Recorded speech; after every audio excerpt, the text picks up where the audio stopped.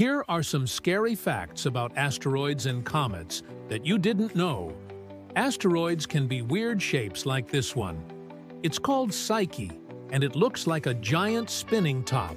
It's 22 miles wide and made of pure nickel and iron, worth an estimated 10,000 times more than all the gold in the world. Most asteroids are actually chunks of rock and metal that have been ripped apart from planets or moons. Some are so big that their gravitational pull is strong enough to hold themselves together, despite being millions of miles away from any star. Comets have been hitting Earth since the planet formed 4.5 billion years ago. They're usually made of ice and dust, and they travel so fast that when they hit our atmosphere, they explode into beautiful comets.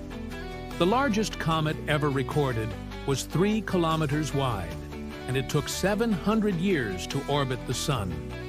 You might think that an asteroid or a comet hitting Earth would be the end of the world, but in reality, most of them burn up in our atmosphere, and some are even helpful.